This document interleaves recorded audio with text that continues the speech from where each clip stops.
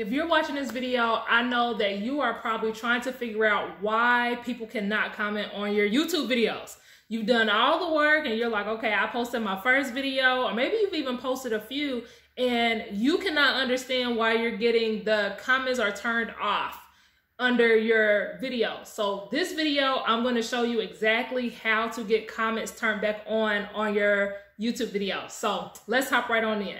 Okay, so this is an example of one of my YouTube videos that it's like super, super old, but I have, the comments are turned off on here. So this is probably what you're seeing.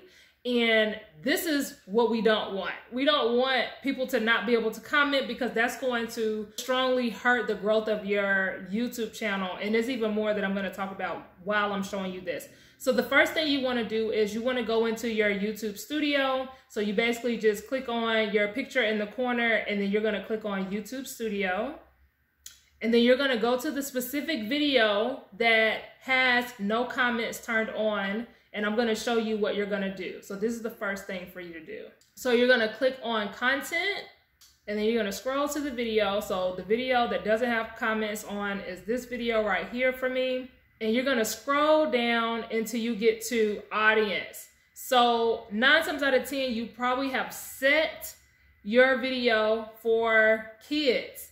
And this is a common mistake that I see a lot of new YouTubers make. They think that because they don't have anything explicit in their videos or anything, they just assume that they're supposed to click yes, that is for kids.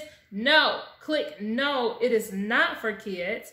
Because the moment you click yes, it's for kids, it's going to put your YouTube content in YouTube Kids and it's going to assume that you are creating like kid content and you're not. So unless you are, then that's different. But for the most part, you're probably not creating content specifically for kids. So you're gonna click no is not made for click or not made for kids, and you're gonna click save. After you do this, I want you to go back to the link that's at the top, right up under this video, and I want you to see if that enables your comments. So let's go back to the video. There we go. So let's see. And now people can leave comments. Would you look at that? so hopefully that fixed your problem. Now, if for some reason it still says no comments or that like you still can't turn on your comments that way, then here's an alternative way that you can enable your comments. So if maybe you have no is not made for kids and it's still for some reason not allowing people to comment, then I want you to try this quick little thing.